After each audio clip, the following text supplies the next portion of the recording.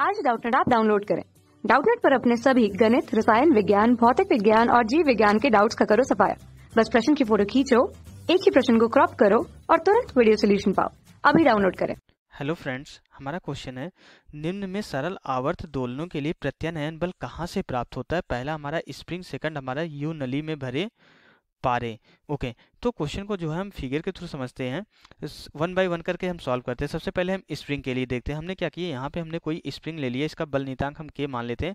ये किसी दृढ़ आधार से बधी हुई है और यहाँ पे एम द्रव्यमान का हमने क्या किया है? कोई पिंड लगा दिया है। तो हमें बोल रहा है कि इस स्प्रिंग में जो है प्रत्यानयन बल कहाँ से प्राप्त होता है? ये हमें बताना है।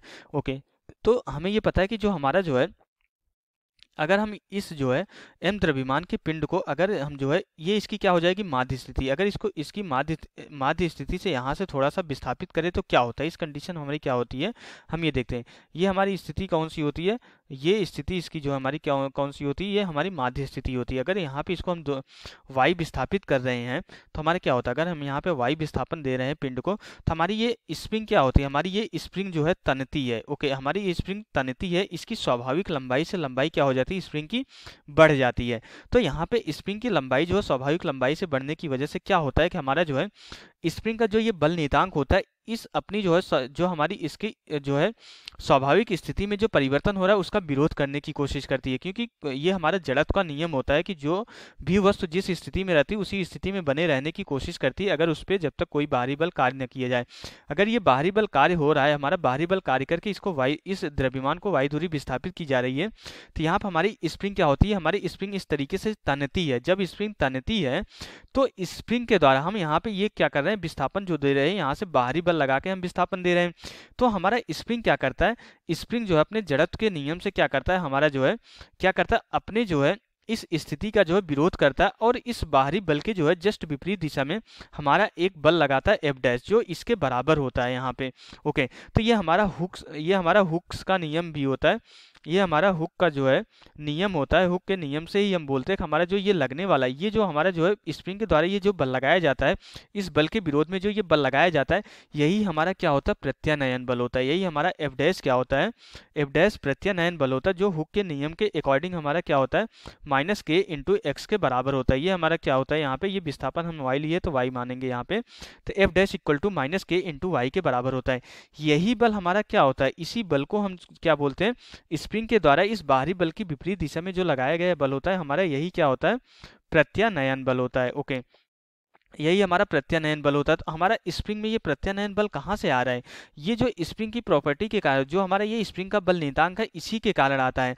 तो यहाँ पे ये स्प्रिंग का जो ये प्रत्यानयन बल है, स्प्रिंग की जो है, किसके कारण आ रहा है? स्प्रिंग की प्रत्यास्थता के कारण आ रहा है।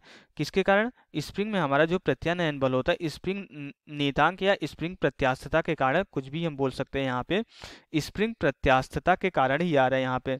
यहाँ पे ये बल हमारा किसके कारण आ रहा है? स्प्रिंग की जो है प्रत्यास्थता के कारण, या हम बोल सकते हैं यहाँ पे जो है स्प्रिंग नियतांक के कारण हमारा ये बल आ रहा है। ओके, स्प्रिंग नियतांक के कारण। ओके तो अब हमें यहाँ पे पता चल गया कि हमारा जो है स्प्रिंग में जो है हमारा बल, प्रत्यानयन बल कहाँ से आता है? स्प्रिंग की प्रत्यास्था के कारण हमारा प्रत्यानयन बल आता है। अब हम यहाँ पे जो है सेकंड जो वाले केस की बात करते हैं। सेकंड वाले में हमें क्या पूछा गया है कि अगर हमारा जो है यू नली में अगर भारा पारा भर दिया जाए, यू नली से भरे पारे में हमारा क्या होता है? प्रत्यानयन बल कहाँ से मिलता है? तो हमने यहाँ पे एक यू आकार की नली बना ली है। मान लेते हैं हमारा इसमें पारा भरा हुआ है। ओके, मान लेते हैं हमारा इसमें क्या भरा हुआ है? पारा भरा हुआ है। हमें इसमें बताना है कि हमारा इसमें प्रत्यानयन बल कहाँ से आएगा। अभी ये क्या है? अभी ये वाली स्थिति इसकी क्या है? ये साम्य स्थिति में है। ओके, ये स्थिति इसकी क्या है? साम्य स्थिति में। जब हम क्या करते हैं? इस पारे के एक नली में जो है द्रव को नीचे की तरफ़ अगर इसकी साम्य स्थिति से नीचे की तरफ़ थोड़ा सा विस्थापित करें, यहाँ पे वायु विस्थापन दे तो क्या होता है? इस स्थिति में हमारा क्या होता है? अगर हम यहाँ पे वायु विस्थापित करें तो जो हमारी ये दूसरे साइड की जो है पारा होता है, ये भी हमारा क्या होता है? वायु वाई दूरी हमारा जो है, इस दिशा में हमारा विस्थापित हो जाता है। ओके, ये हमारा यहाँ पे विस्थापन ये कितना हो जाता है? ये भी हमारा वाई विस्थापित हो जाता है। अब जो नई स्थिति होती है हमारी जो है, जल में, हमारी ये जो है, हमारा यहाँ पे जो है, ये वाला द्रव हमारा नली में इस लेवल पे आ जाता है। हमारे किस पे? इस लेवल पे आ जाता है। अब जो हमारा ये, इस वाली नली में जो हमारा एक्चुअल में विस्थापन होता है, वो कितना हो जाता है? यहाँ पे ये वाली नली में हमारा जो है, ये विस्थापन हो जाता है। ओके, हमारी नली कहाँ तक? यहाँ पे वाई ऊपर उठ गई है, लेकिन इस वाले लेवल से हमारा कितना ऊपर आ गया टू वाई ऊपर आ गया है। ओके, अब यहाँ पे हमारे यहाँ तक जो द्रव है, ये यहाँ तक जो द्रव है, पारा, और यहाँ तक ये दोनों, इन दोनों के भार आपस में जो है बैलेंस रहेंगे, लेकिन जो एक्स्ट्रा यहाँ पे ऊपर उठा है टू आई जो दूरी विस्थापित हुई है, यहाँ पे ये जो पारे का भार होता है, ये क्या करता है? नली के इस दिशा में हमारा जो है बल लगाना स्टार्ट कर देता है। ओके, हमारा जो है नली के इस दिशा में बल लगाना स्टार्ट कर देता है और यही हमारा क्या लगता है? यही हमारा जो है प्रत्यानयन बल होता है। इसी बल की वजह से हमारा जो है पारा इस नली में जो है सरल आवर्त गति करना प्रारंभ कर देता है। तो हमारे ये क्या होता है? यही हमारा बल प्रत्यानयन बल होता है और ये हमारा जो है प्रत्यानयन बल कहाँ से आ रहा है? इसी प्रत्यानयन बल की वजह से हमारा जो है जो है इस तरफ़ बल लगता और ये हमारा फिर से ऊपर की तरफ़ जाता और हमारा इस जो है नली में जो है सरल आवर्त गति होने लगती है पारे के द्वारा। तो ये प्रत्यानयन बल कहाँ से आ रहा है? जो यहाँ पे टू आई दूरी हमारी जो है पारा विस्थापित हो गया ऊपर की तरफ़, इसके भार के कारण आ रहा है। ओके तो हमारे यहाँ पे प्रत्यानयन बल कहाँ से आता है? यू नली में जो हमारा कॉलम का भार है यहाँ पे यहाँ पे जो हमारा जो है, इस यू नली के कॉलम में जो हमारा अतिरिक्त ऊंचाई पर उठा हुआ जो पारा होता है, उसके भार के कारण हमारा प्रत्यानयन बल आता है। तो हमारा इसमें जो है यू नली में प्रत्यानयन बल कहाँ से आ रहा है? यू नली में जो है, यू नली का जो कॉलम कॉलम भार होता है, यू नली के जो है, कॉलम भार से, कॉलम भार, या हम यहाँ पे ये भी बोल सकते हैं, यू नली के कॉलम भार या पारे के भार से, यू नली में जो पारा हमारा जो है एक्स्ट्रा ऊपर उठता है, जो हमारा अतिरिक्त पारा जो है, ऊपर जाता है, अतिरिक्त अतिरिक्त पारे के भार के कारण। तो यहाँ से यू नली में हमें पता चल गया हमारा प्रत्यानयन बल कहाँ से आ रहा है। हमारा जो अतिरिक्त पारा ऊपर उठ रहा है, उसके उस पारे के भार के कारण हमारा जो है यहाँ पे प्रत्यानयन बल आ रहा है।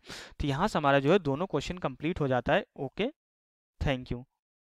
कक्षा छठी से बारहवीं से लेकर NEET I I T JEE वो एडवांस के लेवल तक। एक करोड़ से ज़्यादा छात्रों का भरोसा। आज ही डाउनलोड करें डाउट नेट ऐप या व्हाट्सएप करें अपने सारे डाउट्स आठ चार सौ चार सौ चार सौ पर।